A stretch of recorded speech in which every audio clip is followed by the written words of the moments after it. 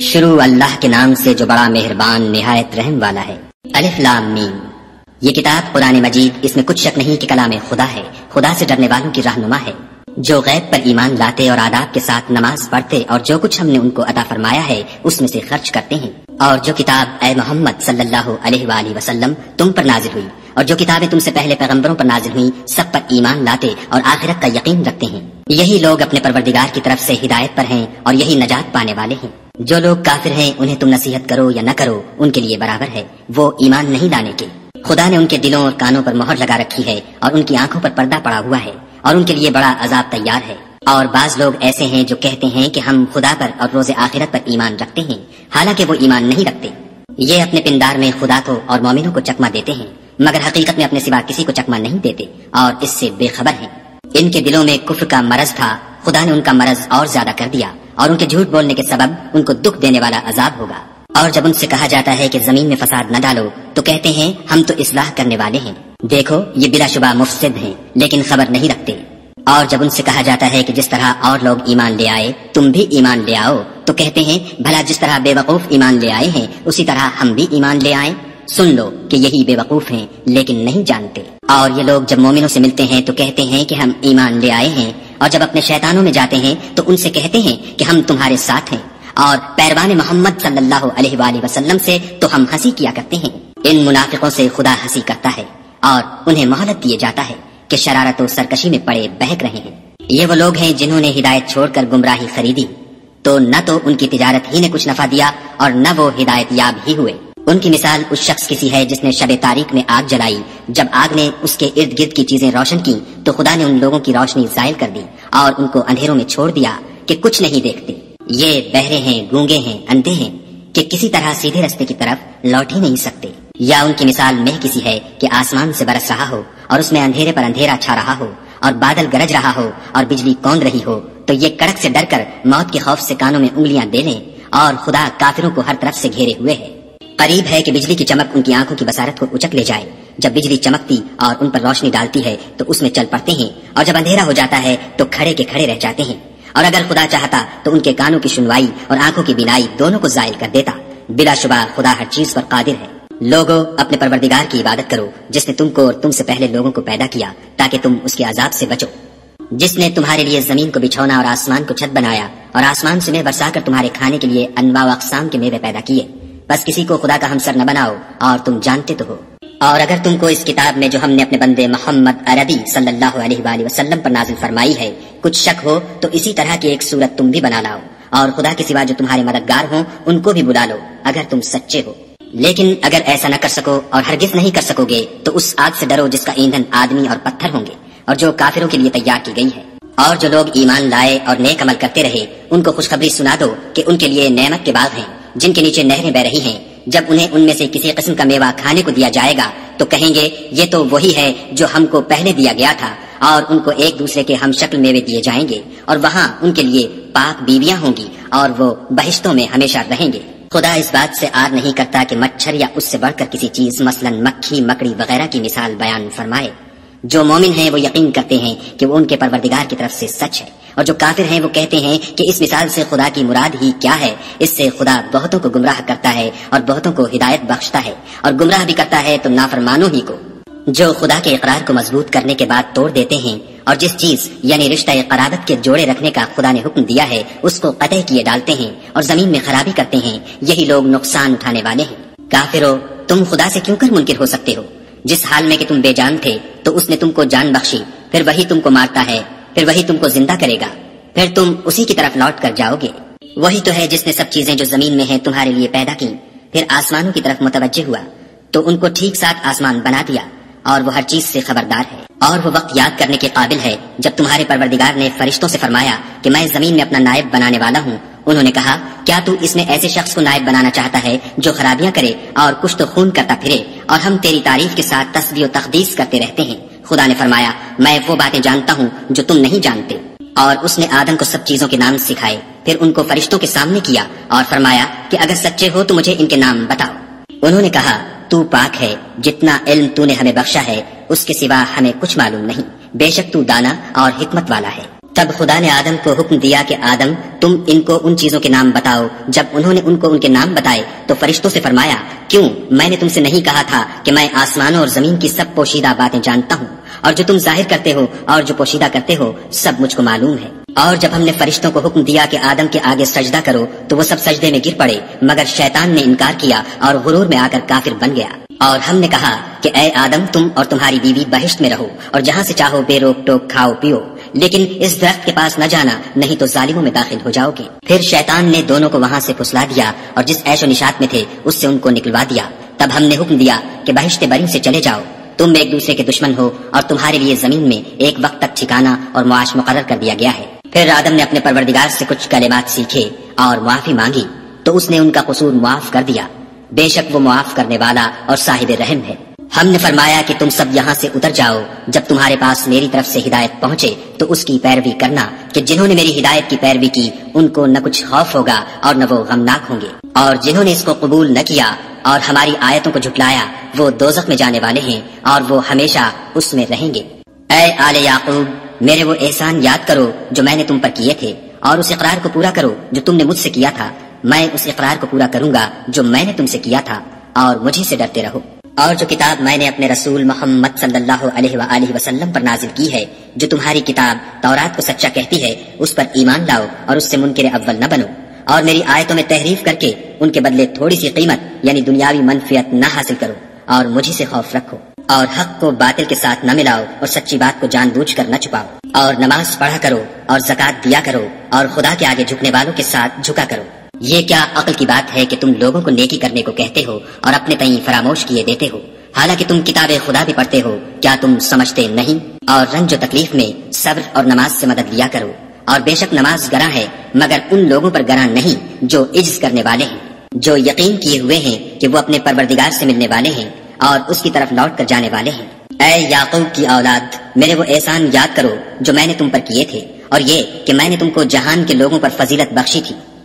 اور اس دن سے ڈرو جب کوئی کسی کے کچھ بھی کام نہ آئے اور نہ کسی کی سفارش منظور کی جائے اور نہ کسی سے کسی طرح کا بدلہ قبول کیا جائے اور نہ لوگ کسی اور طرح مدد حاصل کر سکیں۔ اور ہمارے ان احسانات کو یاد کرو، جب ہم نے تم کو قوم فرعون سے مخلصی بخشی، وہ لوگ تم کو بڑا دکھ دیتے تھے، تمہارے بیٹوں کو تو قتل کر ڈالتے تھے اور بیٹیوں کو زندہ رہنے دیتے تھے اور اس میں تمہارے پروردگار کی طرف سے بڑی سخت آزمائش تھی۔ اور جب ہم نے تمہارے لیے دریا کو پھاڑ دیا، تو تم کو تو نجات دی اور فرعون کی قوم کو غرق کر دیا اور تم دیکھ ہی تو رہے تھے۔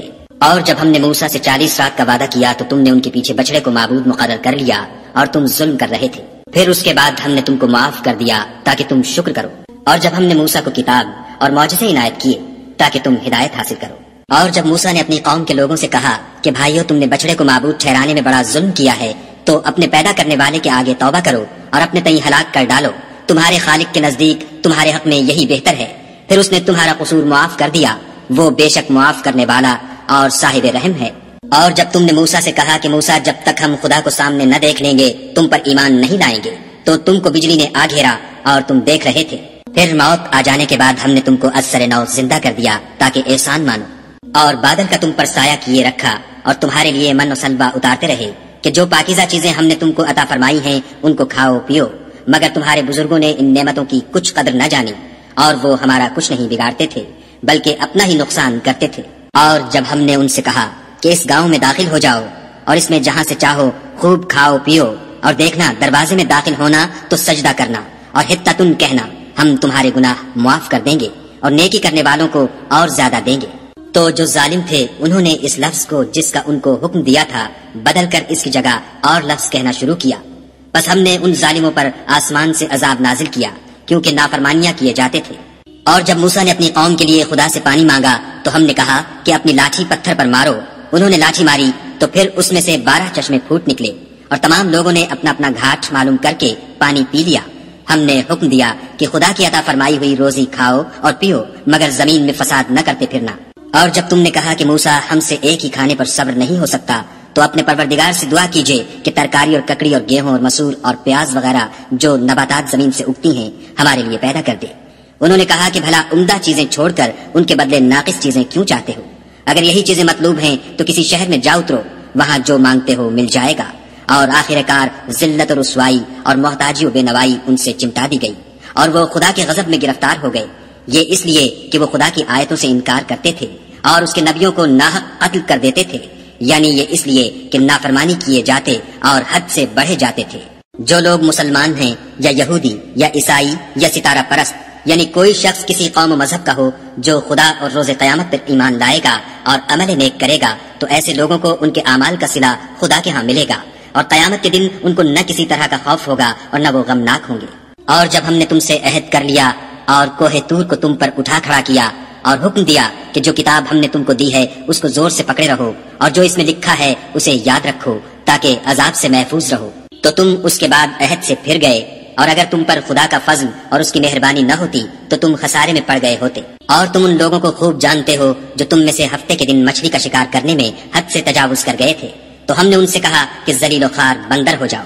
اور اس قصے کو اس وقت کے لوگوں کے لیے اور جو ان کے بعد آنے والے تھے، عبرت اور پرہیزگاروں کے لیے نصیحت بنا دیا۔ اور جب موسا نے اپنی قوم کے لوگوں سے کہا کہ خدا تم کو حکم دیتا ہے کہ ایک بیل ذبح کرو، وہ بولے، کیا تم ہم سے ہنسی کرتے ہو؟ موسا نے کہا کہ میں خدا کی پناہ مانگتا ہوں کہ نادان بنوں۔ انہوں نے کہا، اپنے پروردگار سے التجا کیجیے کہ وہ ہمیں یہ بتائے کہ وہ بیل کس طرح کا ہو۔ موسا نے کہا، پروردگار فرماتا ہے کہ وہ بیل نہ تو بوڑھا ہو اور نہ بچڑا بلکہ ان کے درمیان یعنی جوان ہو۔ سو جیسا تم کو حکم دیا گیا ہے، ویسا کرو۔ انہوں نے کہا، اپنے پروردگار سے درخواست کیجیے کہ ہم کو یہ بھی بتا دے کہ اس کا رنگ کیسا ہو۔ موسا نے کہا، پروردگار فرماتا ہے کہ اس کا رنگ گہرا زرد ہو۔ کہ دیکھنے والوں کے دل کو خوش کر دیتا ہو۔ انہوں نے کہا، اب کے پروردگار سے پھر درخواست کیجیے کہ ہم کو بتا دے کہ وہ اور کس کس طرح کا ہو۔ کیونکہ بہت سے بیل ہمیں ایک دوسرے کے مشابے معلوم ہوتے ہیں۔ پھر خدا نے چاہا تو ہمیں ٹھیک بات معلوم ہو جائے گی۔ موسا نے کہا کہ خدا فرماتا ہے کہ وہ بیل کام میں لگا ہوا نہ ہو، نہ تو زمین جوتتا ہو اور نہ کھیتی کو پانی دیتا ہو۔ اس میں کسی طرح کا داغ نہ ہو۔ کہنے لگے، اب تم نے سب باتیں درست بتا دی غرض بڑی مشکل سے انہوں نے اس بیل کو ذبح کیا اور وہ ایسا کرنے والے تھے نہیں۔ اور جب تم نے ایک شخص کو قتل کیا تو اس میں باہم جھگڑنے لگے، لیکن جو بات تم چھپا رہے تھے، خدا اس کو ظاہر کرنے والا تھا۔ تو ہم نے کہا کہ اس بیل کا کوئی سا ٹکڑا مقتول کو مارو۔ اس طرح خدا مردوں کو زندہ کرتا ہے اور تم کو اپنی قدرت کی نشانیاں دکھاتا ہے تاکہ تم سمجھو۔ پھر اس کے بعد تمہارے دل سخت ہو گئے، گویا وہ پتھر ہے یا ان سے بھی زیادہ سخت۔ اور پتھر تو بازے ایسے ہوتے ہیں کہ ان میں سے چشمے پھوٹ نکلتے ہیں اور بازے ایسے ہوتے ہیں کہ پھٹ جاتے ہیں اور ان میں سے پانی نکلنے لگتا ہے اور بازے ایسے ہوتے ہیں کہ خدا کے خوف سے گر پڑتے ہیں اور خدا تمہارے عملوں سے بے خبر نہیں۔ مومنو، کیا تم امید رکھتے ہو کہ یہ لوگ تمہارے دین کے قائل ہو جائیں گے؟ حالانکہ ان میں سے کچھ لوگ کلام خدا یعنی تورات کو سنتے، پھر اس کے سمجھ لینے کے بعد اس کو جان بوجھ کر بدل دیتے رہے ہیں۔ اور یہ لوگ جب مومنوں سے ملتے ہیں تو کہتے ہیں، ہم ایمان لے آئے ہیں۔ اور جس وقت آپس میں ایک دوسرے سے ملتے ہیں تو کہتے ہیں، جو بات خدا نے تم پر ظاہر فرمائی ہے، وہ تم ان کو اس لیے بتائے دیتے ہو کہ قیامت کے دن اسی کے حوالے سے تمہارے پروردگار کے سامنے تم کو الزام دیں۔ کیا تم سمجھتے نہیں؟ کیا یہ لوگ یہ نہیں جانتے کہ جو کچھ یہ چھپاتے اور جو کچھ ظاہر کرتے ہیں، خدا کو سب معلوم ہے؟ اور بعض ان میں ان پڑھ ہیں کہ اپنے خیالات باطل کے سوا خدا کی کتاب سے واقف ہی نہیں۔ اور وہ صرف زن سے کام لیتے ہیں۔ تو ان لوگوں پر افسوس ہے جو اپنے ہاتھ سے تو کتاب لکھتے ہیں اور کہتے یہ ہیں کہ یہ خدا کے پاس سے آئی ہے تاکہ اس کے عوض تھوڑی سی قیمت یعنی دنیاوی منفیت حاصل کریں۔ ان پر افسوس ہے اس لیے کہ بے اصل باتیں اپنے ہاتھ سے لکھتے ہیں اور پھر ان پر افسوس ہے اس لیے کہ ایسے کام کرتے ہیں۔ اور کہتے ہیں کہ دوزک کی آگ ہمیں چند روز کے سوا چھو ہی نہیں سکے گی۔ ان سے پوچھو، کیا تم نے خدا سے اقرار لے رکھا ہے؟ کہ خدا اپنے اقرار کے خلاف نہیں کرے گا۔ نہیں، بلکہ تم خدا کے بارے میں ایسی باتیں کہتے ہو جن کا تمہیں مطلق علم نہیں۔ ہاں جو برے کام کرے اور اس کے گناہ ہر طرف سے اس کو گھیر لیں تو ایسے لوگ دوزخ میں جانے والے ہیں اور وہ ہمیشہ اس میں جلتے رہیں گے۔ اور جو ایمان لائیں اور نیک کام کریں، وہ جنت کے مالک ہوں گے اور ہمیشہ اس میں عیش کرتے رہیں گے۔ اور جب ہم نے بنی اسرائیل سے عہد لیا کہ خدا کے سوا کسی کی عبادت نہ کرنا اور ماں باپ اور رشتہ داروں اور یتیموں اور محتاجوں کے ساتھ بھلائی کرتے رہنا اور لوگوں سے اچھی باتیں کہنا اور نماز پڑھتے اور زکات دیتے رہنا تو چند شخصوں کے سوا تم سب اس عہد سے منہ پھیر کر پھر بیٹھے۔ اور جب ہم نے تم سے عہد لیا کہ آپس میں کچھ تو خون نہ کرنا اور اپنے کو ان کے وطن سے نہ نکالنا تو تم نے اقرار کر لیا اور تم اس بات کے گواہ ہو۔ پھر تم وہی ہو کہ اپنوں کو قتل بھی کر دیتے ہو اور اپنوں میں سے بعض لوگوں پر گناہ اور ظلم سے چڑھائی کر کے انہیں وطن سے نکال بھی دیتے ہو۔ اور اگر وہ تمہارے پاس قید ہو کر آئیں، تو بدلہ دے کر ان کو چھڑا بھی لیتے ہو۔ حالانکہ ان کا نکال دینا ہی تم کو حرام تھا۔ یہ کیا بات ہے کہ تم کتاب خدا کے بعض احکام کو تو مانتے ہو اور بعض سے انکار کیے دیتے ہو؟ تو جو تم میں سے ایسی حرکت کریں، ان کی سزا اس کے سوا اور کیا ہو سکتی ہے کہ دنیا کی زندگی میں تو رسوائی ہو اور قیامت کے دن سخت سے سخت عذاب میں ڈال دیے جائیں۔ اور جو کام تم کرتے ہو، خدا ان سے غافل نہیں۔ یہ وہ لوگ ہیں جنہوں نے آخرت کے بدلے دنیا کی زندگی خریدی۔ سو نہ تو ان سے عذاب ہی ہلکا کیا جائے گا اور نہ ان کو اور طرح کی مدد ملے گی۔ اور ہم نے موسا کو کتاب عنایت کی اور ان کے پیچھے یکے بعد دیگرے پیغمبر بھیجتے رہے اور عیسیٰ ابن مریم کو کھلے نشانات بخشے اور روح القدس یعنی جبرائیل سے ان کو مدد دی۔ تو جب کوئی پیغمبر تمہارے پاس ایسی باتیں لے کر آئے جن کو تمہارا جی نہیں چاہتا تھا، تو تم سرکش ہو جاتے رہے اور ایک گروہ انبیاء کو تو جھٹلاتے رہے اور ایک گروہ کو قتل کرتے رہے اور کہتے ہیں، ہمارے دل پردے میں ہیں۔ نہیں بلکہ خدا نے ان کے کفر کے سبب ان پر لانت کر رکھی ہے۔ بس یہ تھوڑے ہی پر ایمان لاتے ہیں۔ اور جب خدا کے ہاں سے ان کے پاس کتاب آئی جو ان کی آسمانی کتاب کی بھی تصدیق کرتی ہے اور وہ پہلے ہمیشہ کافروں پر فتح مانگا کرتے تھے، تو جس چیز کو وہ خوب پہچانتے تھے، جب ان کے پاس آ پہنچی تو اس سے کافر ہو گئے۔ بس کافروں پر خدا کی لانت جس چیز کے بدلے انہوں نے اپنے تئیں بیچ ڈالا، وہ بہت بری ہے۔ یعنی اس جلن سے کہ خدا اپنے بندوں میں سے جس پر چاہتا ہے، اپنی مہربانی سے نازل فرماتا ہے۔ خدا کی نازل کی ہوئی کتاب سے کفر کرنے لگے تو وہ اس کے غضب بالائے غضب میں مبتلا ہو گئے اور کافروں کے لیے ذلیل کرنے والا عذاب ہے۔ اور جب ان سے کہا جاتا ہے کہ جو کتاب خدا نے اب نازل فرمائی ہے اس کو مانو، تو کہتے ہیں کہ جو کتاب ہم پر پہلے نازل ہو چکی ہے، ہم تو اسی کو مانتے ہیں یعنی یہ اس کے سوا اور کتاب کو نہیں مانتے۔ حالانکہ وہ سراسر سچی ہے اور جو ان کی آسمانی کتاب ہے، اس کی بھی تصدیق کرتی ہے۔ ان سے کہہ دو کہ اگر تم صاحب ایمان ہوتے، تو خدا کے پیغمبروں کو پہلے ہی کیوں قتل کیا کرتے؟ اور موسا تمہارے پاس کھلے ہوئے معجزات لے کر آئے، تو تم ان کے کوہ تور پر جانے کے بعد بچڑے کو معبود بنا بیٹھے اور تم اپنے ہی حق میں ظلم کرتے تھے۔ اور جب ہم نے تم لوگوں سے عہد واسق لیا اور کوہ تور کو تم پر اٹھا کھڑا کیا اور حکم دیا کہ جو کتاب ہم نے تم کو دی ہے، اس کو زور سے پکڑو اور جو تمہیں حکم ہوتا ہے، اس کو سنو۔ تو وہ جو تمہارے بڑے تھے، کہنے لگے کہ ہم نے سن تو لیا، لیکن مانتے نہیں۔ اور ان کے کفر کے سبب بچڑا گویا ان کے دلوں میں رچ گیا تھا۔ اے پیغمبر، ان سے کہہ دو کہ اگر تم مومن ہو تو تمہارا ایمان تم کو بری بات بتاتا ہے۔ کہہ دو کہ اگر آخرت کا گھر اور لوگوں یعنی مسلمانوں کے لیے نہیں اور خدا کے نزدیک تمہارے ہی لیے مخصوص ہے، تو اگر سچے ہو تو موت کی آرزو تو کرو۔ لیکن ان اعمال کی وجہ سے جو ان کے ہاتھ آگے بھیج چکے ہیں، یہ کبھی اس کی آرزو نہیں کریں گے۔ اور خدا ظالموں سے خوب واقف ہے۔ بلکہ ان کو تم اور لوگوں سے زندگی کے کہیں حریص دیکھو گے۔ یہاں تک کہ مشرکوں سے بھی۔ ان میں سے ہر ایک یہی خواہش کرتا ہے کہ کاش وہ ہزار برس جیتا رہے۔ مگر اتنی لمبی عمر اس کو مل بھی جائے تو اسے عذاب سے تو نہیں چھڑا سکتی۔ اور جو کام یہ کرتے ہیں، خدا ان کو دیکھ رہا ہے۔ کہہ دو کہ جو شخص جبرائیل کا دشمن ہو، اس کو غصے میں مر جانا چاہیے۔ اس نے تو یہ کتاب خدا کے حکم سے تمہارے دل پر نازل کی ہے، جو پہلی کتابوں کی تصدیق کرتی ہے۔ اور ایمان والوں کے لیے ہدایت اور بشارت ہے۔ جو شخص خدا کا اور اس کے فرشتوں کا اور اس کے پیغمبروں کا اور جبرائیل اور میکائل کا دشمن ہو، تو ایسے کافروں کا خدا دشمن ہے۔ اور ہم نے تمہارے پاس سلجھی ہوئی آیتیں اس سال فرمائی ہیں اور ان سے انکار وہی کرتے ہیں جو بد کردار ہیں۔ ان لوگوں نے جب جب خدا سے عہد واسق کیا، تو ان میں سے ایک فریق نے اس کو کسی چیز کی طرح پھینک دیا۔ حقیقت یہ ہے کہ ان میں اکثر بے ایمان ہیں۔ اور جب ان کے پاس خدا کی طرف سے پیغمبر آخر الزما آئے اور وہ ان کی آسمانی کتاب کی تصدیق بھی کرتے ہیں۔ تو جن لوگوں کو کتاب دی گئی تھی، ان میں سے ایک جماعت نے خدا کی کتاب کو پیٹ پیچھے پھینک دیا۔ گویا وہ جانتے ہی نہیں۔ اور ان حضلیات کے پیچھے لگ گئے، جو سلیمان کے عہد سلطنت میں شیاطین پڑھا کرتے تھے۔ اور سلیمان نے مطلق کفر کی بات نہیں کی، بلکہ شیطان ہی کفر کرتے تھے کہ لوگوں کو جادو سکھاتے تھے۔ اور ان باتوں کے بھی پیچھے لگ گئے، جو شہر بابل میں دو فرشتوں یعنی ہاروت اور ماروت پر اتری تھیں۔ اور وہ دونوں کسی کو کچھ نہیں سکھاتے تھے۔ جب تک یہ نہ کہہ دیتے کہ ہم تو ذریعہ آزمائش ہیں، تم کفر میں نہ پڑو۔ غرض لوگ ان سے ایسا جادو سیکھتے جس سے میاں بیوی میں جدائی ڈال دیں۔ اور خدا کے حکم کے سوا وہ اس جادو سے کسی کا کچھ بھی بگاڑ نہیں سکتے تھے۔ اور کچھ ایسے منتر سیکھتے جو ان کو نقصان ہی پہنچاتے اور فائدہ کچھ نہ دیتے۔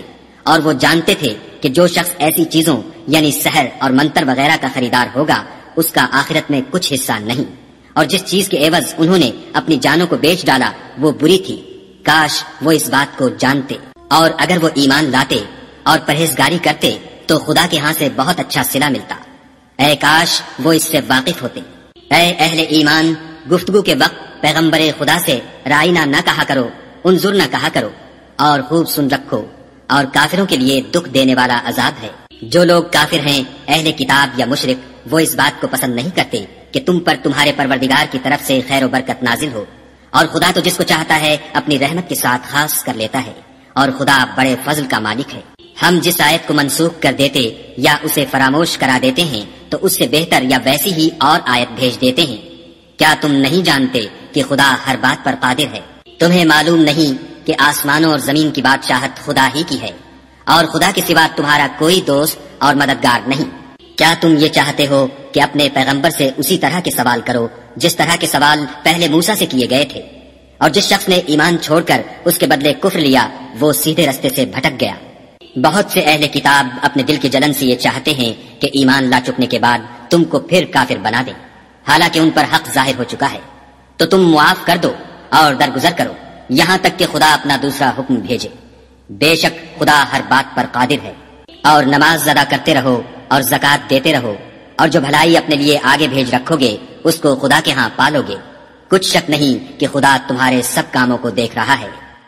اور یہودی اور عیسائی کہتے ہیں کہ یہودیوں اور عیسائیوں کے سوا کوئی بہش میں نہیں جانے کا۔ یہ ان لوگوں کے خیالات باطل ہیں۔ اے پیغمبر، ان سے کہہ دو کہ اگر سچے ہو تو دلیل پیش کرو۔ ہاں جو شخص خدا کے آگے گردن جھکا دے یعنی ایمان لے آئے اور وہ نیکوکار بھی ہو تو اس کا سرا اس کے پروردگار کے پاس ہے۔ اور ایسے لوگوں کو قیامت کے دن نہ کسی طرح کا خوف ہوگا اور نہ وہ غمناک ہوں گے۔ اور یہودی کہتے ہیں کہ عیسائی رستے پر نہیں، اور عیسائی کہتے ہیں کہ یہودی رستے پر نہیں۔ حالانکہ وہ کتاب الہی پڑھتے ہیں۔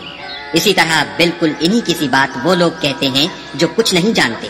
یعنی مشرق تو جس بات میں یہ لوگ اختلاف کر رہے ہیں، خدا قیامت کے دن اس کا ان میں فیصلہ کر دے گا۔ اور اس سے بڑھ کر ظالم کون جو خدا کی مسجدوں میں خدا کے نام کا ذکر کیے جانے کو منع کرے اور ان کی ویرانی میں سائی ہو۔ ان لوگوں کو کچھ حق نہیں کہ ان میں داخل مگر ڈرتے ہوئے۔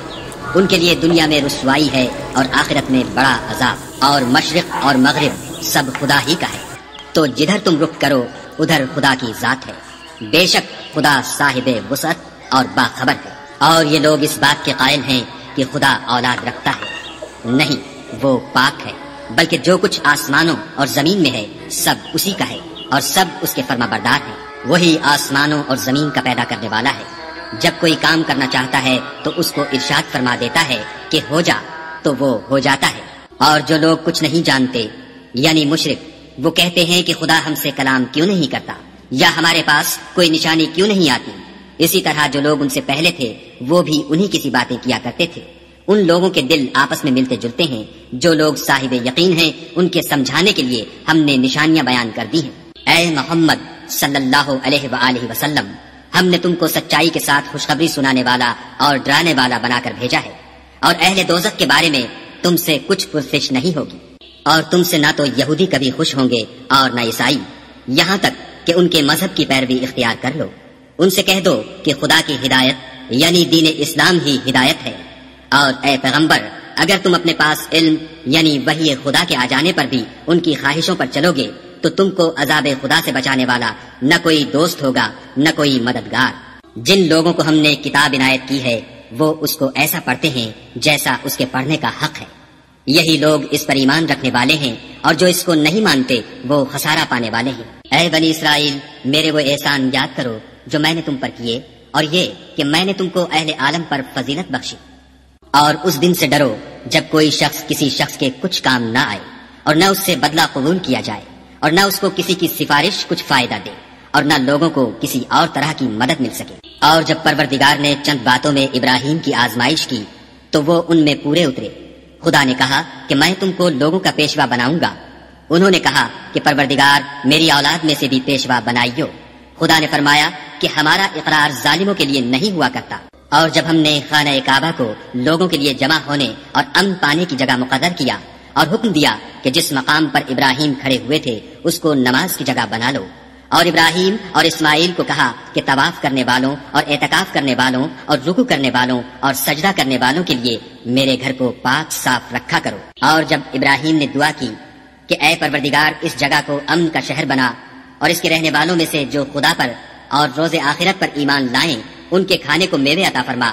تو خدا نے فرمایا کہ جو کافر ہوگا، میں اس کو بھی کسی قدر متمتع کروں گا، مگر پھر اس کو عذاب دوزخ کے بھگتنے کے لیے ناچار کر دوں گا، اور وہ بری جگہ ہے۔ اور جب ابراہیم اور اسماعیل بیت اللہ کی بنیادیں اونچی کر رہے تھے، تو دعا کیے جاتے تھے کہ اے ہمارے پروردگار، ہم سے یہ خدمت قبول فرما۔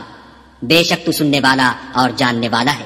اے پروردگار، ہم کو اپنا فرما بردار بنائے رکھیو۔ اور ہماری اولاد میں سے بھی ایک گروہ کو اپنا متی بناتے رہیو۔ اور پروردگار ہمیں ہمارے طریق عبادت بتا اور ہمارے حال پر رحم کے ساتھ توجہ فرما۔ بے شک تو توجہ فرمانے والا مہربان ہے۔ اے پروردگار، ان لوگوں میں، انہی میں سے ایک پیغمبر مبعوث کی جو جو ان کو تیری آیتیں پڑھ پڑھ کر سنایا کرے، اور کتاب اور دانائی سکھایا کرے، اور ان کے دلوں کو پاک صاف کیا کرے۔ بے شک تو غالب اور صاحب حکمت ہے اور ابراہیم کے دین سے کون روگردانی کر سکتا ہے؟ بجز اس کے جو نہایت نادان ہو۔ ہم نے ان کو دنیا میں بھی منتخب کیا تھا اور آخرت میں بھی وہ زمرہ صلحہ میں ہوں گے۔ جب ان سے ان کے پروردگار نے فرمایا کہ اسلام لے آؤ، تو انہوں نے عرض کی کہ میں رب العالمین کے آگے سر اطاعت ہم کرتا ہوں۔ اور ابراہیم نے اپنے بیٹوں کو اسی بات کی وصیت کی اور یعقوب نے بھی اپنے فرزندوں سے یہی کہا کہ بیٹا، خدا نے تمہارے لیے یہی دین پسند فرمایا ہے، تو مرنا تو مسلمان ہی مرنا۔ بھلا جس وقت یعقوب وفات پانے لگے، تو تم اس وقت موجود تھے۔ جب انہوں نے اپنے بیٹوں سے پوچھا کہ میرے بعد تم کس کی عبادت کرو گے، تو انہوں نے کہا کہ آپ کے معبود اور آپ کے باپ دادا ابراہیم اور اسماعیل اور اسحاق کے معبود کی عبادت کریں گے جو معبود یکتا ہے اور ہم اسی کے حکم بردار ہیں۔ یہ جماعت گزر چکی، ان کو ان کے اعمال کا بدلہ ملے گا اور تم کو تمہارے اعمال کا اور جو عمل وہ کرتے تھے، ان کی پرسش تم سے نہیں ہوگی۔ اور یہودی اور عیسائی کہتے ہیں کہ یہودی یا عیسائی ہو جاؤ تو سیدھے رستے پر لگ جاؤ۔ اے پیغمبر، ان سے کہہ دو، نہیں، بلکہ ہم دین ابراہیم اختیار کیے ہوئے ہیں، جو ایک خدا کے ہو رہے تھے اور مشرکوں میں سے نہ تھے۔ مسلمانوں، کہو کہ ہم خدا پر ایمان لائے اور جو کتاب ہم پر اتری، اس پر، اور جو صحیح ابراہیم اور اسماعیل اور اسحاق اور یعقوب اور ان کی اولاد پر نازل ہوئے، ان پر، اور جو کتاب موسا اور عیسیٰ کو عطا ہوئی، ان پر، اور جو اور پیغمبروں کو ان کے پروردگار کی طرف سے ملی، ان پر سب پر ایمان لائے۔ ہم ان پیغمبروں میں سے کسی میں کچھ فرق نہیں کرتے اور ہم اسی خدا واحد کے فرما بردار ہیں۔ تو اگر یہ لوگ بھی اسی طرح ایمان لے آئیں، جس طرح تم ایمان لے آئے ہو تو ہدایت یاب ہو جائیں۔ اور اگر منہ پھیر لیں اور نہ مانیں، تو وہ تمہارے مخالف ہیں اور ان کے مقابلے میں تمہیں خدا کافی ہے اور وہ سننے والا اور جاننے والا ہے۔ کہہ دو کہ ہم نے خدا کا رنگ اختیار کر لیا ہے اور خدا سے بہتر رنگ کس کا ہو سکتا ہے؟ اور ہم اسی کی عبادت کرنے والے ہیں۔ ان سے کہو، کیا تم خدا کے بارے میں ہم سے جھگڑتے ہو؟ حالانکہ وہی ہمارا اور تمہارا پروردگار ہے اور ہم کو ہمارے اعمال کا بدلہ ملے گا اور تم کو تمہارے اعمال کا اور ہم خاص اسی کی عبادت کرنے والے ہیں۔ اے یہود و نصارہ، کیا تم اس بات کے قائل ہو کہ ابراہیم اور اسماعیل اور اسحاق اور یعقوب اور ان کی اولاد یہودی یا عیسائی تھی؟ اے محمد صلی اللہ علیہ وآلہ وسلم، ان سے کہو کہ بھلا تم زیادہ جانتے ہو یا خدا؟ اور اس سے بڑھ کر ظالم کون ہے جو خدا کی شہادت کو جو اس کے پاس کتاب میں موجود ہے چھپائے اور جو کچھ تم لوگ کر رہے ہو، خدا اس سے غافل نہیں۔ یہ جماعت گزر چکی، ان کو وہ ملے گا جو انہوں نے کیا اور تم کو وہ جو تم نے کیا، اور جو عمل وہ کرتے تھے، ان کی پرسش تم سے نہیں ہوگی۔ احمد لوگ کہیں گے کہ مسلمان جس قبلے پر پہلے سے چلے آتے تھے اب اس سے کیوں منہ پھیر بیٹھے؟ تم کہہ دو کہ مشرق اور مغرب سب خدا ہی کا ہے۔ وہ جس کو چاہتا ہے سیدھے رستے پر چلاتا ہے۔ اور اسی طرح ہم نے تم کو امت معتدل بنایا ہے۔ تاکہ تم لوگوں پر گواہ بنو اور پیغمبر آخر الزما تم پر گواہ بنے اور جس قبلے پر تم پہلے تھے، اس کو ہم نے اس لیے مقرر کیا تھا کہ معلوم کریں کہ کون ہمارے پیغمبر کا تابع رہتا ہے اور کون الٹے پاؤں پھر جاتا ہے۔ اور یہ بات یعنی تحویل قبلہ، لوگوں کو گراں معلوم ہوئی۔ مگر جن کو خدا نے ہدایت بخشی، وہ اسے گراں نہیں سمجھتے۔ اور خدا ایسا نہیں کہ تمہارے ایمان کو یوں ہی کھو دے۔ خدا تو لوگوں پر بڑا مہربان اور صاحب رحمت ہے۔ اے محمد صلی اللہ علیہ وآلہ وسلم، ہم تمہارا آسمان کی طرف منہ پھیر پھیر کر دیکھنا دیکھ رہے ہیں۔ سو ہم تم کو اسی قبلے کی طرف جس کو تم پسند کرتے ہو، منہ کرنے کا حکم دیں گے۔ تو اپنا منہ مسجد حرام یعنی خانہ کعبہ کی طرف پھیر لو۔ اور تم لوگ جہاں ہوا کرو، نماز پڑھنے کے وقت اسی مسجد کی طرف منہ کر لیا کرو۔ اور جن لوگوں کو کتاب دی گئی ہے، وہ خوب جانتے ہیں کہ نیا قبلہ ان کے پروردگار کی طرف سے حق ہے۔ اور جو کام یہ لوگ کرتے ہیں، خدا ان سے بے خبر نہیں۔ اور اگر تم ان اہل کتاب کے پاس تمام نشانیاں بھی لے کر آؤ، تو بھی یہ تمہارے قبلے کی پیروی نہ کرے اور تم بھی ان کے قبلے کی پیروی کرنے والے نہیں ہو۔ اور ان میں سے بھی بعض بعض کے قبلے کے پیرو نہیں۔ اور اگر تم باوجود اس کے کہ تمہارے پاس دانش یعنی وہی خدا آ چکی ہے، ان کی خواہشوں کے پیچھے چلو گے، تو ظالموں میں داخل ہو جاؤ گے۔ جن لوگوں کو ہم نے کتاب دی ہے، وہ ان پیغمبر آخر الزما کو اس طرح پہچانتے ہیں، جس طرح اپنے بیٹوں کو پہچانا کرتے ہیں۔ مگر ایک فریق ان میں سے سچی بات کو جان بوجھ کر چھپا رہا ہے۔ اے پیغمبر، یہ نیا قبلہ تمہارے پروردگار کی طرف سے حق ہے، تو تم ہرگز شک کرنے والوں میں نہ ہونا۔ اور ہر ایک فرقے کے لیے ایک سمت مقرر ہے۔ جدھر وہ عبادت کے وقت منہ کیا کرتے ہیں، تو تم نیکیوں میں سبقت حاصل کرو۔ تم جہاں ہوگے، خدا تم سب کو جمع کرے گا۔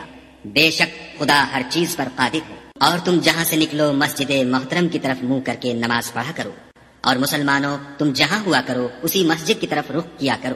یہ تاکید اس لیے کی گئی ہے کہ لوگ تم کو کسی طرح کا الزام نہ دے سکے مگر ان میں سے جو ظالم ہیں، وہ الزام دیں تو دیں۔ سو ان سے مت ڈرنا اور مجھے سے ڈرتے رہنا۔ اور یہ بھی مقصود ہے کہ میں تم کو اپنی تمام نعمتیں بخشوں اور یہ بھی کہ تم راہ راست پر چلو۔ جس طرح من جملہ اور نعمتوں کے ہم نے تم میں تمہیں میں سے ایک رسول بھیجے ہیں، جو تم کو ہماری آیتیں پڑھ پڑھ کے سناتے اور تمہیں پاک بناتے اور کتاب یعنی قرآن اور دانائی سکھاتے ہیں اور ایسی باتیں بتاتے ہیں جو تم پہلے نہیں جانتے تھے۔ سو تم مجھے یاد کیا کرو، میں تمہیں یاد کیا کروں گا۔ اور میرا احسان مانتے رہنا اور نہ نہ کرنا۔ اے ایمان والو صبر اور نماز سے مدد لیا کرو۔ بے شک خدا صبر کرنے والوں کے ساتھ ہے۔ اور جو لوگ خدا کی راہ میں مارے جائیں، ان کی نسبت یہ نہ کہنا کہ وہ مرے ہوئے ہیں۔ وہ مردہ نہیں، بلکہ زندہ ہے لیکن تم نہیں جانتے۔ اور ہم کسی قدر خوف اور بھوک اور مال اور جانوں اور میووں کے نقصان سے تمہاری آزمائش کریں گے۔ تو صبر کرنے والوں کو خدا کی خوشنودی کی بشارت سنا دو۔ ان لوگوں پر جب کوئی مصیبت واقع ہوتی ہے، تو کہتے ہیں کہ ہم خدا ہی کا مال ہیں۔ اور اسی کی طرف لوٹ کر جانے والے ہیں۔ یہی لوگ ہیں جن پر ان کے پروردگار کی مہربانی اور رحمت ہے اور یہی سیدھے رستے پر ہیں۔ کوہ صفا اور مربع خدا کی نشانیوں میں سے ہیں۔ تو جو شخص خانہ کعبہ کا حج یا عمرہ کرے، اس پر کچھ گنا نہیں کہ دونوں کا طواف کرے، بلکہ طواف ایک قسم کا نیک کام ہے۔ اور جو کوئی نیک کام کرے، تو خدا قدر شناس اور دانا ہے۔ جو لوگ ہمارے حکموں اور ہدایتوں کو جو ہم نے نازل کی ہیں کسی غرض فاسد سے چھپاتے ہیں، باوجود ہے کہ ہم نے ان لوگوں کے سمجھانے کے لیے اپنی کتاب میں کھول کھول کر بیان کر دیا ہے۔ ایسوں پر خدا اور تمام لانت کرنے والے لانت کرتے ہیں۔ ہاں جو توبہ کرتے ہیں اور اپنی حالت درست کر لیتے اور احکام الہی کو صاف صاف بیان کر دیتے ہیں، تو میں ان کے قصور معاف کر دیتا ہوں اور میں بڑا معاف کرنے والا اور رحم والا ہوں۔ جو لوگ کافر ہوئے اور کافر ہی مرے ایسوں پر خدا کی اور فرشتوں کی اور لوگوں کی سب کی لانت وہ ہمیشہ اسی لانت میں گرفتار رہیں گے۔ ان سے نہ تو عذاب ہلکا ہی کیا جائے گا اور نہ انہیں کچھ مہلت ملے گی۔ اور لوگوں تمہارا معبود خدا واحد ہے۔ اس بڑے مہربان اور رحم والے کے سوا کوئی عبادت کے لائق نہیں۔ بے شک آسمان اور زمین کے پیدا کرنے میں اور رات اور دن کے ایک دوسرے کے پیچھے آنے جانے میں اور کشتیوں اور جہازوں میں جو دریا میں لوگوں کے فائدے کے لیے رواں ہے اور مہ میں جس کو خدا آسمان سے برساتا اور اس سے زمین کو مرنے کے بعد زندہ یعنی خشک ہوئے پیچھے سرسبز کر دیتا ہے اور زمین پر ہر قسم کے جانور پھیلانے میں اور ہواؤں کے چلانے میں اور بادلوں میں جو آسمان اور زمین کے درمیان گھرے رہتے ہیں۔ عقل مندوں کے لیے خدا کی قدرت کی نشانیاں ہیں۔ اور بعض لوگ ایسے ہیں جو غیر خدا کو شریک خدا بناتے اور ان سے خدا کی سی محبت کرتے ہیں۔ لیکن جو ایمان والے ہیں وہ تو خدا ہی کے سب سے زیادہ دوست دار ہیں۔ اور اے کاش ظالم لوگ جو بات عذاب کے وقت دیکھیں گے، اب دیکھ لیتے کہ سب طرح کی طاقت خدا ہی کو ہے اور یہ کہ خدا سخت عذاب کرنے والا ہے۔ اس دن کفر کے پیشوا اپنے پیرووں سے بیزاری ظاہر کریں گے اور دونوں عذاب الہی دیکھ لیں گے اور ان کے آپس کے تعلقات منقطع ہو جائیں گے۔ یہ حال دیکھ کر پیروی کرنے والے حسرت سے کہیں گے کہ اے کاش ہمیں پھر دنیا میں جانا نصیب ہوتا کہ جس طرح یہ ہم سے بیزار ہو رہے ہیں، اسی طرح ہم بھی ان سے بیزار اس طرح خدا ان کے اعمال حسرت بنا کر دکھائے گا اور وہ دو سے نکل نہیں سکیں گے۔ لوگوں جو چیزیں زمین میں حلال طیب ہیں، وہ کھاؤ اور شیطان کے قدموں پر نہ چلو۔ وہ تمہارا کھلا دشمن ہے۔ وہ تم کو برائی اور بے حیائی ہی کے کام کرنے کو کہتا ہے اور یہ بھی کہ خدا کی نسبت ایسی باتیں کہو جن کا تمہیں کچھ بھی علم نہیں۔ اور جب ان لوگوں سے کہا جاتا ہے کہ جو کتاب خدا نے نازل فرمائی ہے، اس کی پیروی کرو، تو کہتے ہیں، نہیں، بلکہ ہم تو اسی چیز کی پیروی کریں گے جس پر ہم نے اپنے باپ دادا کو پایا۔ بھلا اگرچہ ان کے باپ دادا نہ کچھ سمجھتے ہوں اور نہ سیدھے رستے پر ہوں، تب بھی وہ انہی کی تقلید کیے جائیں گے۔ جو لوگ کافر ہیں، ان کی مثال اس شخص کی سی ہے جو کسی ایسی چیز کو آواز دے جو پکار اور آواز کے سوا کچھ سن نہ سکے۔ یہ بہرے ہیں، گونگے ہیں، اندھے ہیں کہ کچھ سمجھ ہی نہیں سکتے۔ اے اہل ایمان، جو پاکیزہ چیزیں ہم نے تم کو عطا فرمائی ہیں، ان کو کھاؤ اور اگر خدا ہی کے بندے ہو تو اس کی نعمتوں کا شکر بھی ادا کرو۔ اس نے تم پر مرا ہوا جانور اور لہو اور سور کا گوشت اور جس چیز پر خدا کے سوا کسی اور کا نام پکارا جائے، حرام کر دیا ہے۔ ہاں جو ناچار ہو جائے، بشرطے کے خدا کی نافرمانی نہ کرے اور حد ضرورت سے باہر نہ نکل جائے، اس پر کچھ گناہ نہیں۔ بے شک خدا بخشنے والا اور رحم کرنے والا ہے۔ جو لوگ خدا کی کتاب سے ان آیتوں اور ہدایتوں کو جو اس نے نازل فرمائی ہیں، چھپاتے اور ان کے بدلے تھوڑی سی قیمت یعنی دنیاوی منفیت حاصل کرتے ہیں، وہ اپنے پیٹوں میں محض آگ بھرتے ہیں۔ ایسے لوگوں سے خدا قیامت کے دن نہ کلام کرے گا اور نہ ان کو گناہوں سے پاک کرے گا اور ان کے لیے دکھ دینے والا عذاب ہے۔ یہ وہ لوگ ہیں جنہوں نے ہدایت چھوڑ کر گمراہی اور بخشش چھوڑ کر عذاب خریدا۔ یہ آتش جہنم کی کیسی برداشت کرنے والے ہیں؟ یہ اس لیے کہ خدا نے کتاب سچائی کے ساتھ نازل فرمائی اور جن لوگوں نے اس کتاب میں اختلاف کیا وہ ضد میں آ کر نیکی سے دور ہو گئے ہیں۔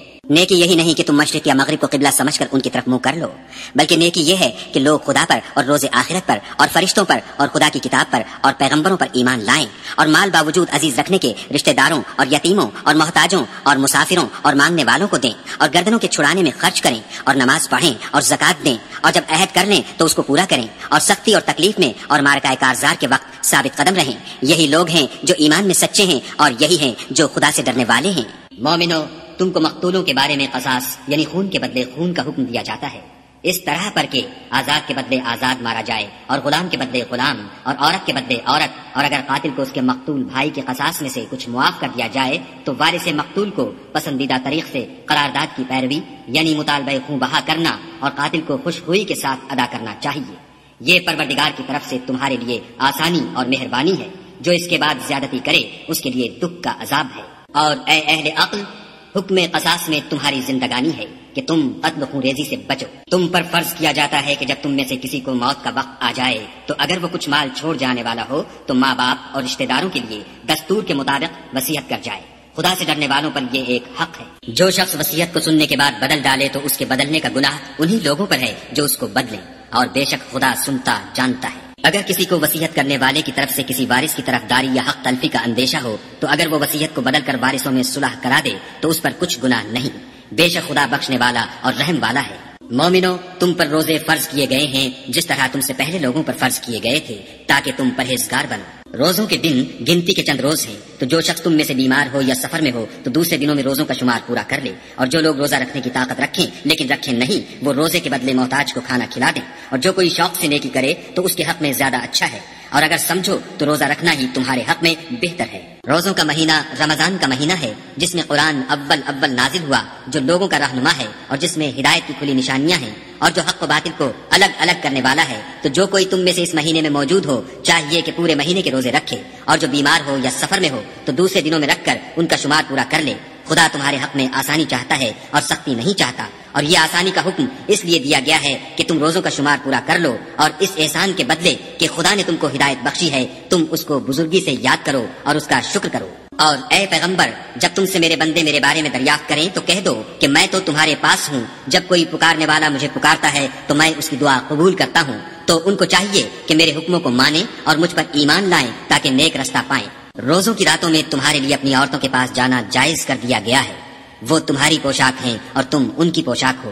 خدا کو معلوم ہے کہ تم ان کے پاس جانے سے اپنے حق میں خیانت کرتے تھے، سو اس نے تم پر مہربانی کی اور تمہاری حرکات سے درگزر فرمائی۔ اب تم کو اختیار ہے کہ ان سے مباشرت کرو اور خدا نے جو چیز تمہارے لیے لکھ رکھی ہے یعنی اولاد، اس کو خدا سے طلب کرو اور کھاؤ اور پیو یہاں تک کہ صبح کی سفید دھاری، رات کی سیاہ دھاری سے الگ نظر آنے لگے۔ پھر روزہ رکھ کر رات تک پورا کرو اور جب تم مسجدوں میں اعتکاف بیٹھے ہو تو ان سے مباشرت نہ کرو۔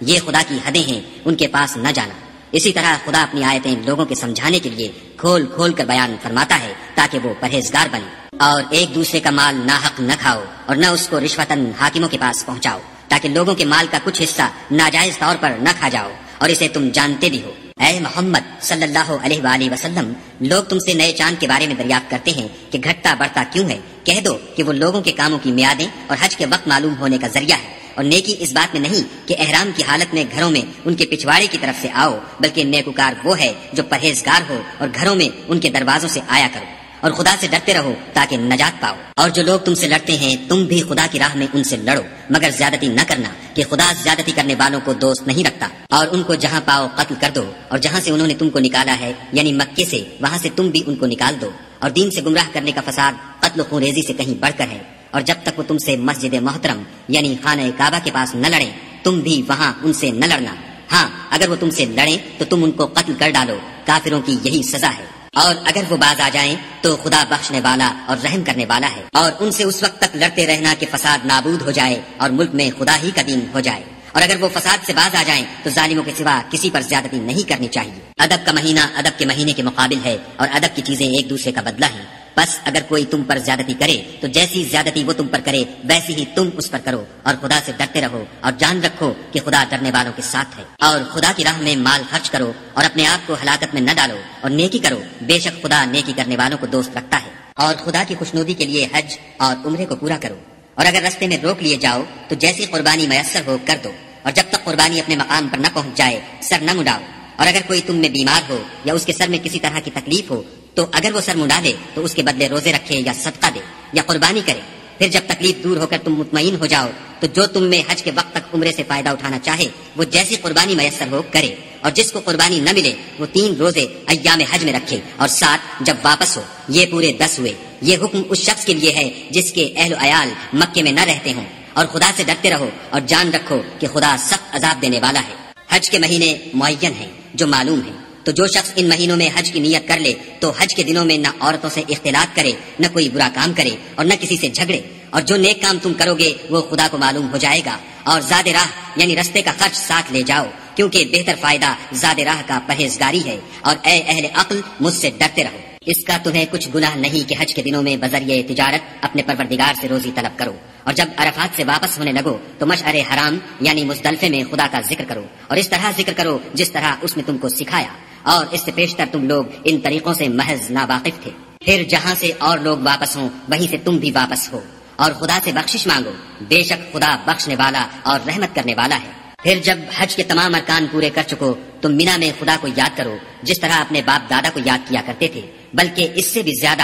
اور بعض لوگ ایسے ہیں جو خدا سے التجا کرتے ہیں کہ، اے پروردگار، ہم کو جو دینا ہے دنیا ہی میں عنایت کر۔ ایسے لوگوں کا آخرت میں کچھ حصہ نہیں۔ اور بعض ایسے ہیں کہ دعا کرتے ہیں کہ پروردگار ہم کو دنیا میں بھی نعمت عطا فرما اور آخرت میں بھی نعمت بخشیو اور دوزک کے عذاب سے محفوظ رکھیو۔ یہی لوگ ہیں جن کے لیے ان کے کاموں کا حصہ یعنی اجر نیک تیار ہے اور خدا جلد حساب لینے والا اور جلد اجر دینے والا ہے۔ اور قیام منا کے دنوں میں جو گنتی کے دن ہیں خدا کو یاد کرو۔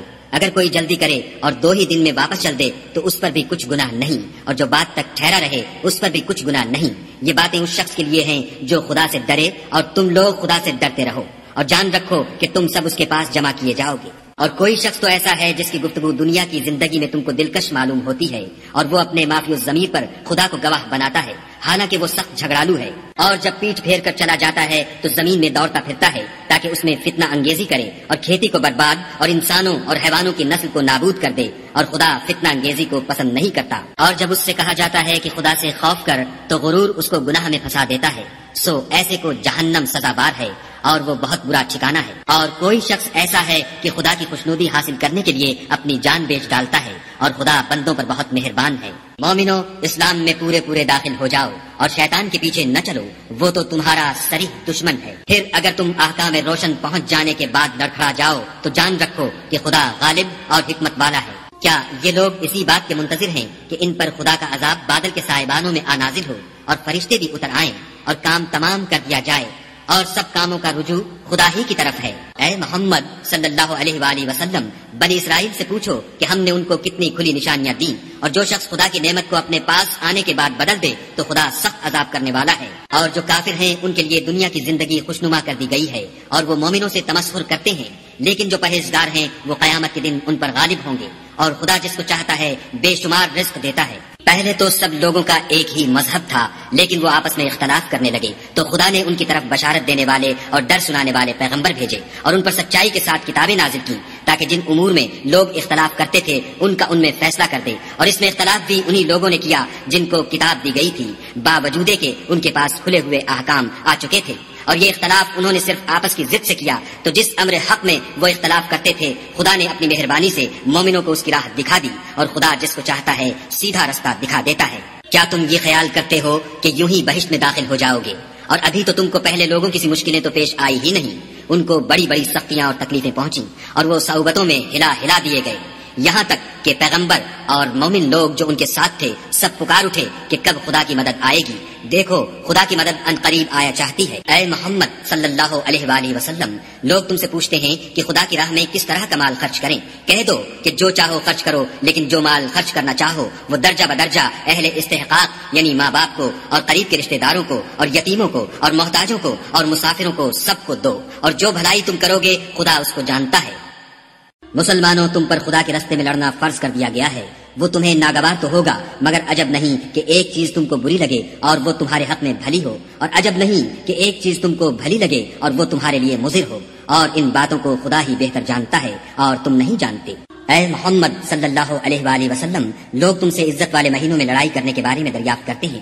کہہ دو کہ ان میں لڑنا بڑا گناہ ہے اور خدا کی راہ سے روکنا اور اس سے کفر کرنا اور مسجد حرام یعنی خانہ کعبہ میں جانے سے بند کرنا اور اہل مسجد کو اس میں سے نکال دینا جو یہ کفار کرتے ہیں، خدا کے نزدیک اس سے بھی زیادہ گناہ ہے اور فتنہ انگیزی، خون ریزی سے بھی بڑھ کر ہے اور یہ لوگ ہمیشہ تم سے لڑتے رہیں گے۔ یہاں تک کہ اگر مقدور رکھیں تو تم کو تمہارے دین سے پھیر دیں۔ اور جو کوئی تم میں سے اپنے دین سے پھر کر کافر ہو جائے گا اور کافر ہی مرے گا، تو ایسے لوگوں کے اعمال دنیا اور آخرت دونوں میں برباد ہو جائیں گے اور یہی لوگ دوزخ میں جانے والے ہیں جس میں ہمیشہ رہیں گے۔ جو لوگ ایمان لائے اور خدا کے لیے وطن چھوڑ گئے اور کفار سے جنگ کرتے رہے، وہی خدا کی رحمت کے امیدوار ہیں اور خدا بخشنے والا اور رحمت کرنے والا ہے۔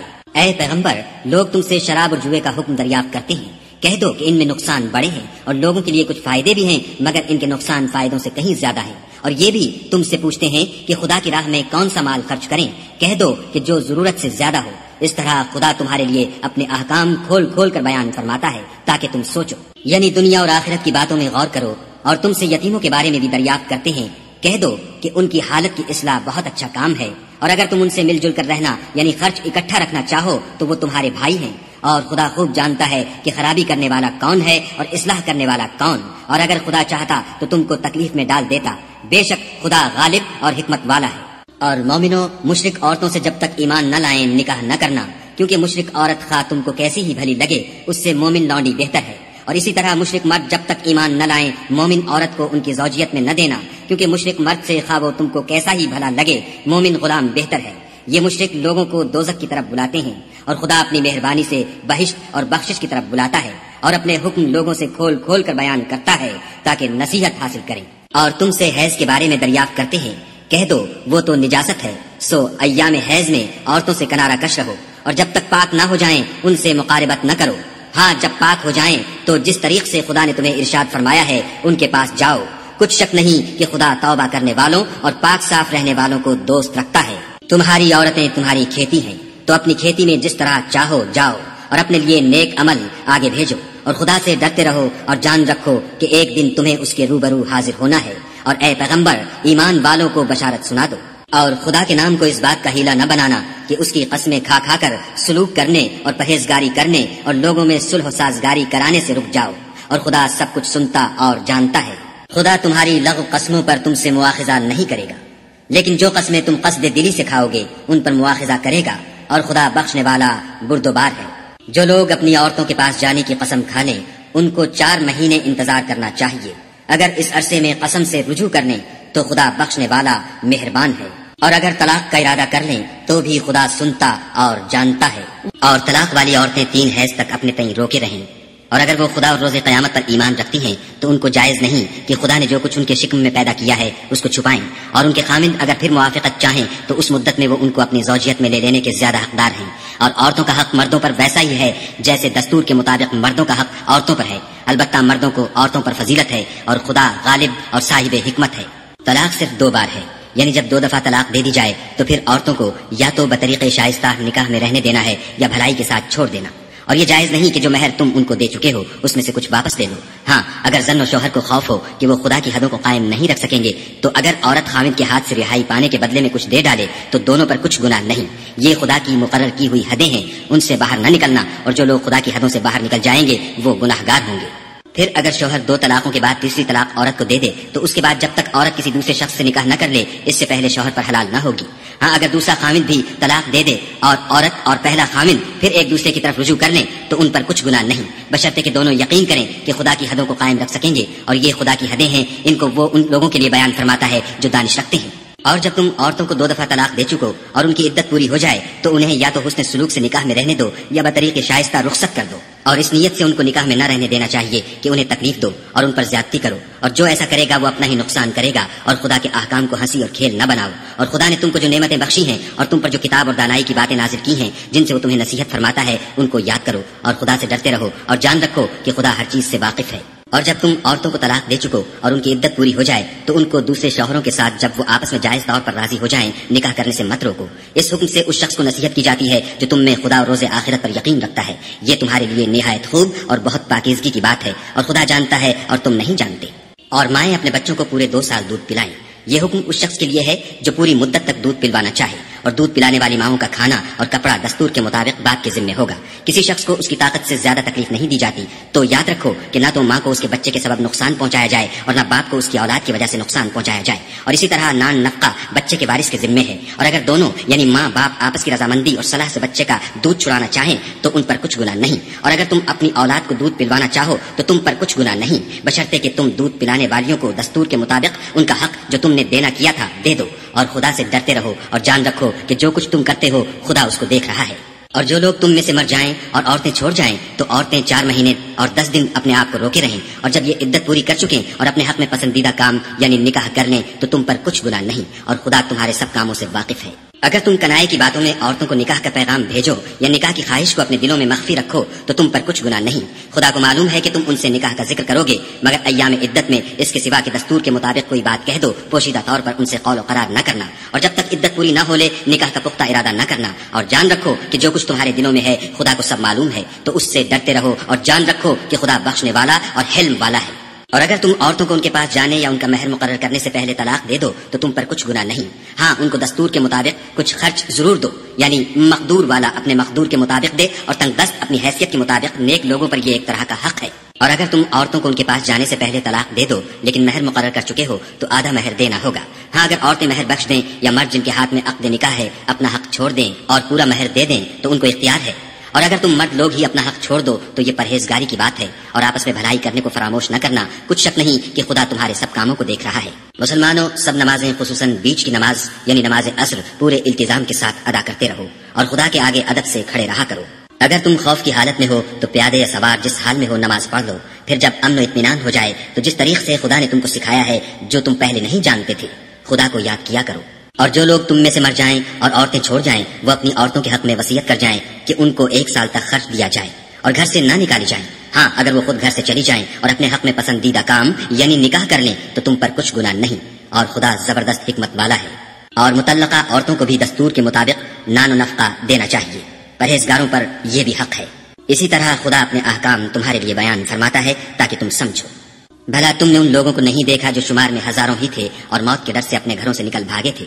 تو خدا نے ان کو حکم دیا کہ مر جاؤ، پھر ان کو زندہ بھی کر دیا۔ کچھ شک نہیں کہ خدا لوگوں پر مہربانی رکھتا ہے، لیکن اکثر لوگ شکر نہیں کرتے۔ اور مسلمانوں، خدا کی راہ میں جہاد کرو اور جان رکھو کہ خدا سب کچھ سنتا اور سب کچھ جانتا ہے۔ کوئی ہے کہ خدا کو قرض حسنا دے کہ وہ اس کے بدلے اس کو کئی حصے زیادہ دے گا، اور خدا ہی روزی کو تنگ کرتا اور وہی اسے کشادہ کرتا ہے اور تم اسی کی طرف لوٹ کر جاؤ گے۔ بھلا تم نے بنی اسرائیل کی ایک جماعت کو نہیں دیکھا جس نے موسا کے بعد اپنے پیغمبر سے کہا کہ آپ ہمارے لیے ایک بادشاہ مقرر کر دیں۔ تاکہ ہم خدا کی راہ میں جہاد کریں۔ پیغمبر نے کہا کہ اگر تم کو جہاد کا حکم دیا جائے تو عجب نہیں کہ لڑنے سے پہلے تہی کرو۔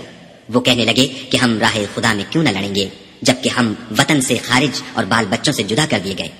لیکن جب ان کو جہاد کا حکم دیا گیا تو چند اشخاص کے سوا سب پھر گئے اور خدا ظالموں سے خوب واقف ہے۔ اور پیغمبر نے ان سے یہ بھی کہا کہ خدا نے تم پر تعلق کو بادشاہ مقرر فرمایا ہے۔ وہ بولے کہ اسے ہم پر بادشاہی کا حق کیوں کر ہو سکتا ہے؟ بادشاہی کے مستحق تو ہم ہیں۔ اور اس کے پاس تو بہت سی دولت بھی نہیں۔ پیغمبر نے کہا کہ خدا نے اس کو تم پر فضیلت دی ہے اور بادشاہی کے لیے منتخب فرمایا ہے۔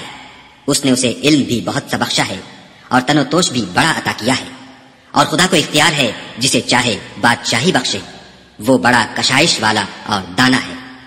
اور پیغمبر نے ان سے کہا کہ ان کی بادشاہی کی نشانی یہ ہے کہ تمہارے پاس ایک صندوق آئے گا جس کو فرشتے اٹھائے ہوئے ہوں گے۔ اس میں تمہارے پروردگار کی طرف سے تسلی بخشنے والی چیز ہوگی اور کچھ اور چیزیں بھی ہوں گی جو موسا اور ہارون چھوڑ گئے تھے۔ اگر تم ایمان رکھتے ہو تو یہ تمہارے لیے ایک بڑی نشانی ہے۔ غرض جب تالوت فوجیں لے کر روانہ ہوا تو اس نے ان سے کہا کہ خدا ایک نہر سے تمہاری آزمائش کرنے والا ہے۔ جو شخص اس میں سے پانی پی لے گا، اس کی نسبت تصور کیا جائے گا کہ وہ میرا نہیں اور جو نہ پیے گا، وہ سمجھا جائے گا کہ میرا ہے۔ ہاں اگر کوئی ہاتھ سے چلو بھر پانی لے لے۔ تو خیر جب وہ لوگ نہر پر پہنچے تو چند شخصوں کے سوا سب نے پانی پی لیا۔ پھر جب تالوت اور مومن لوگ جو اس کے ساتھ تھے نہر کے پار ہو گئے تو کہنے لگے کہ آج ہم میں جالوت اور اس کے لشکر سے مقابلہ کرنے کی طاقت نہیں۔ جو لوگ یقین رکھتے تھے کہ ان کو خدا کے روبرو حاضر ہونا ہے، وہ کہنے لگے کہ بسا اوقات تھوڑی سی جماعت نے خدا کے حکم سے بڑی جماعت پر فتح حاصل کی ہے اور خدا استقلال رکھنے والوں کے ساتھ ہے۔ اور جب وہ لوگ جالوت اور اس کے لشکر کے مقابل میں آئے تو خدا سے دعا کی کہ اے پروردگار، ہم پر صبر کے دہانے کھول دے اور ہمیں لڑائی میں ثابت قدم رکھ اور لشکر کفار پر فتح یاد کر۔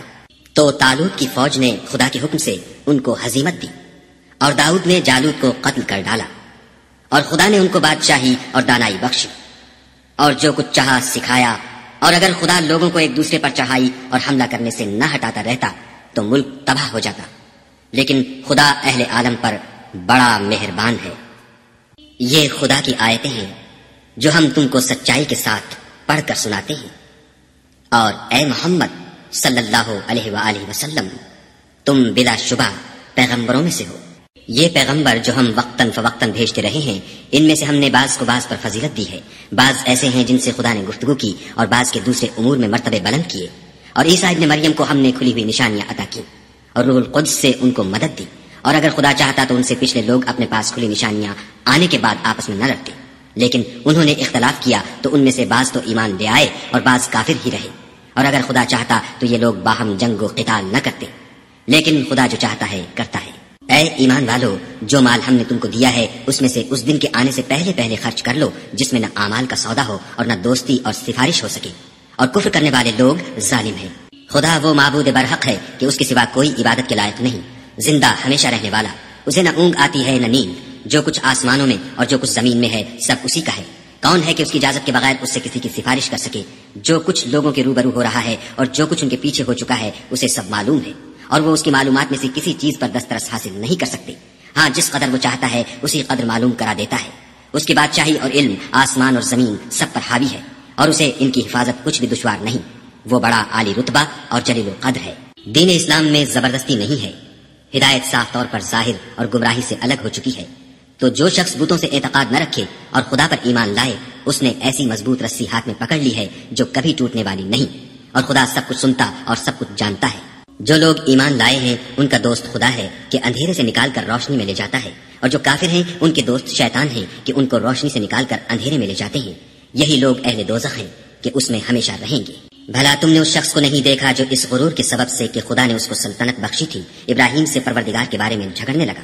جب ابراہیم نے کہا، میرا پروردگار تو وہ ہے جو جلاتا ہے اور مارتا ہے وہ بولا کہ جلا اور مار تو میں بھی سکتا ہوں۔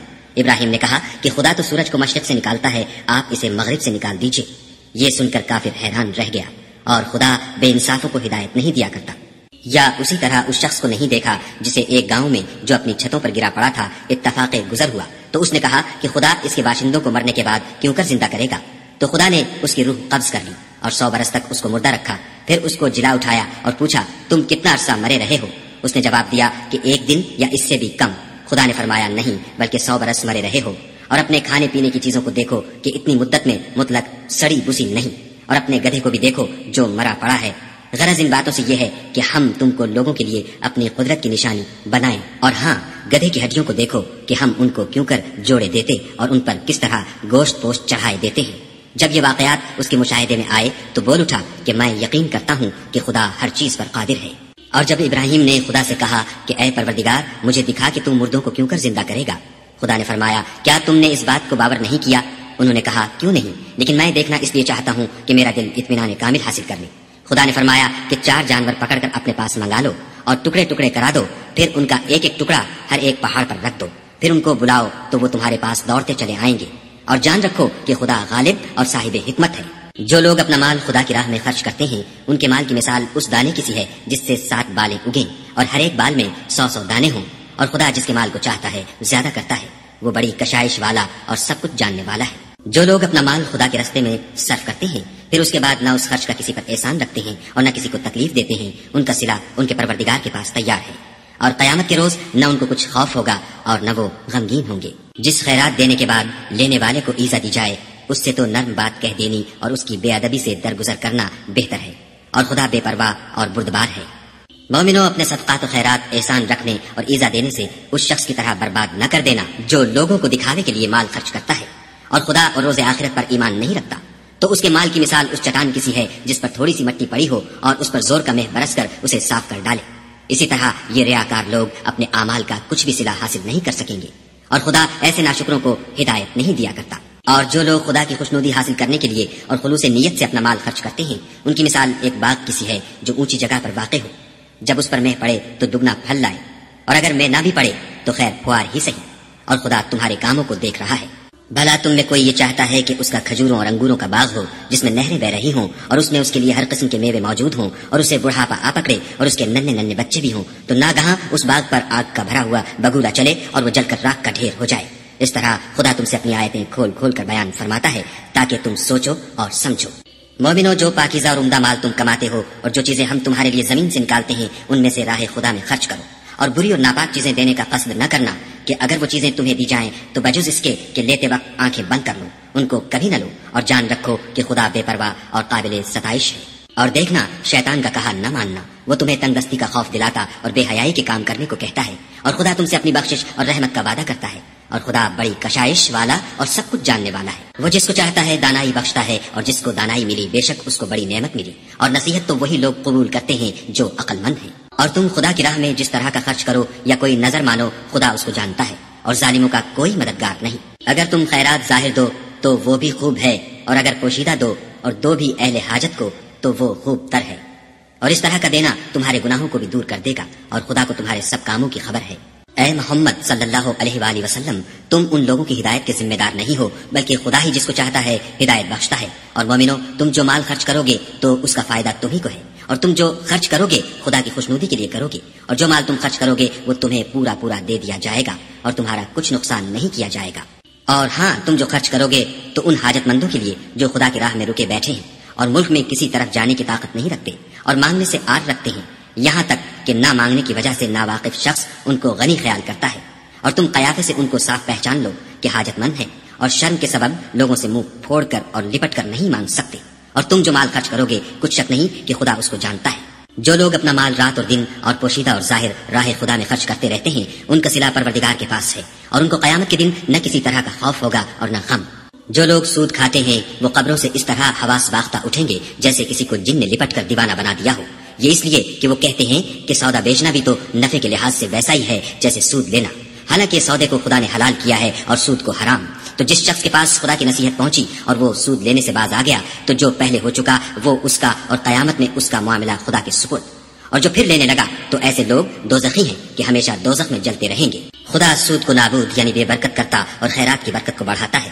اور خدا کسی ناشکرے گناہ گار کو دوست نہیں رکھتا۔ جو لوگ ایمان لائے اور نیک عمل کرتے اور نماز پڑھتے اور زکات دیتے رہے، ان کو ان کے کاموں کا سلا خدا کے ہاں ملے گا اور قیامت کے دن ان کو نہ کچھ خوف ہوگا اور نہ وہ غمناک ہوں گے۔ مومنو، خدا سے ڈرو اور اگر ایمان رکھتے ہو تو جتنا سود باقی رہ گیا ہے اس کو چھوڑ دو۔ اگر ایسا نہ کرو گے تو خبردار ہو جاؤ کہ تم خدا اور رسول سے جنگ کرنے کے لیے تیار ہوتے ہو۔ اور اگر توبہ کر لو گے اور سود چھوڑ دو گے تو تم کو اپنی اصلی رقم لینے کا حق ہے، جس میں نہ اوروں کا نقصان اور نہ تمہارا نقصان۔ اور اگر قرض لینے والا تنگ دست ہو تو اسے کشائش کے حاصل ہونے تک مہلت دو۔ اور اگر زر قرض بخش دو تو وہ تمہارے لیے زیادہ اچھا ہے۔ بشرطے کے سمجھو۔ اور اس دن سے ڈرو جبکہ تم خدا کے حضور میں لوٹ کر جاؤ گے اور ہر شخص اپنے اعمال کا پورا پورا بدلہ پائے گا اور کسی کو کچھ نقصان نہ ہوگا۔ مومنو، جب تم آپس میں کسی میاد معین کے لیے قرض کا معاملہ کرنے لگو تو اس کو لکھ لیا کرو۔ اور لکھنے والا تم میں کسی کا نقصان نہ کرے، بلکہ انصاف سے لکھے۔ نیز لکھنے والا جیسا خدا نے اسے سکھایا ہے، لکھنے سے انکار بھی نہ کرے۔ اور دستاویز لکھ دے۔ اور جو شخص قرض لے، وہی دستاویز کا مضمون بول کر لکھوائے اور خدا سے کہ اس کا مالک ہے، خوف کرے اور زر قرض میں سے کچھ کم نہ لکھوائے اور اگر قرض لینے والا بے عقل یا ضعیف ہو یا مضمون لکھوانے کی قابلیت نہ رکھتا ہو، تو جو اس کا ولی ہو، وہ انصاف کے ساتھ مضمون لکھوائے اور اپنے میں سے دو مردوں کو ایسے معاملے کے گواہ کر لیا کرو اور اگر دو مرد نہ ہو تو ایک مرد اور دو عورتیں جن کو تم گواہ پسند کرو کافی ہیں کہ اگر ان میں سے ایک بھول جائے گی، تو دوسری اسے یاد دلا دے گی اور جب گواہ گواہی کے لیے طلب کیے جائیں، تو انکار نہ کرے۔ اور قرض تھوڑا ہو یا بہت، اس کی دستاویز کے لکھنے لکھانے میں کاہلی نہ کرنا۔ یہ بات خدا کے نزدیک نہایت قرین انصاف ہے اور شہادت کے لیے بھی یہ بہت درست طریقہ ہے۔ اس سے تم کو کسی طرح کا شک و شبہ بھی نہیں پڑے گا۔ ہاں اگر سودا دست بدست ہو جو تم آپس میں لیتے دیتے ہو، تو اگر ایسے معاملے کی دستاویز نہ لکھو، تو تم پر کچھ گناہ نہیں۔ اور جب خرید و فروخت کیا کرو، تو بھی گواہ کر لیا کرو۔ اور کاتب دستاویز اور گواہ معاملہ کرنے والوں کا کسی طرح کا نقصان نہ کرے۔ اگر تم لوگ ایسا کرو تو یہ تمہارے لیے گناہ کی بات ہے اور خدا سے ڈرو اور دیکھو کہ وہ تم کو کیسی مفید باتیں سکھاتا ہے اور خدا ہر چیز سے واقف ہے۔ اور اگر تم سفر پر ہو اور دستاویز لکھنے والا نہ مل سکے تو کوئی چیز رہن با قبضہ رکھ کر قرض لے لو۔ اور اگر کوئی کسی کو امین سمجھے یعنی رہن کے بغیر قرض دے دے، تو امانت دار کو چاہیے کہ صاحب امانت کی امانت ادا کر دے۔ اور خدا سے جو اس کا پروردگار ہے، ڈرے۔ اور دیکھنا، شہادت کو مت چھپانا، جو اس کو چھپائے گا، وہ دل کا گناہ گار ہوگا۔ اور خدا تمہارے سب کاموں سے واقف ہے۔ جو کچھ آسمانوں میں اور جو کچھ زمین میں ہے، سب خدا ہی کا ہے۔ تم اپنے دلوں کی بات کو ظاہر کرو گے تو اور چھپاؤ گے تو۔ خدا تم سے اس کا حساب لے گا۔ پھر وہ جسے چاہے مغفرت کرے اور جسے چاہے عذاب دے۔ اور خدا ہر چیز پر قادر ہے۔ رسول اس کتاب پر جو ان کے پروردگار کی طرف سے ان پر نازل ہوئی ایمان رکھتے ہیں۔ اور مومن بھی سب خدا پر اور اس کے فرشتوں پر اور اس کی کتابوں پر اور اس کے پیغمبروں پر ایمان رکھتے ہیں۔ اور کہتے ہیں کہ ہم اس کے پیغمبروں سے کسی میں کچھ فرق نہیں کرتے۔ اور وہ خدا سے عرض کرتے ہیں کہ ہم نے تیرا حکم سنا اور قبول کیا۔ اے پروردگار، ہم تیری بخشش مانگتے ہیں اور تیری ہی طرف لوٹ کر جانا ہے۔ خدا کسی شخص کو اس کی طاقت سے زیادہ تکلیف نہیں دیتا۔ اچھے کام کرے گا تو اس کو ان کا فائدہ ملے گا۔ برے کرے گا تو اسے ان کا نقصان پہنچے گا۔ اے پروردگار، اگر ہم سے بھول یا چوک ہو گئی ہو تو ہم سے مواخذہ نہ کیجو اے پروردگار، ہم پر ایسا بوجھ نہ ڈالیو جیسا تو نے ہم سے پہلے لوگوں پر ڈالا تھا۔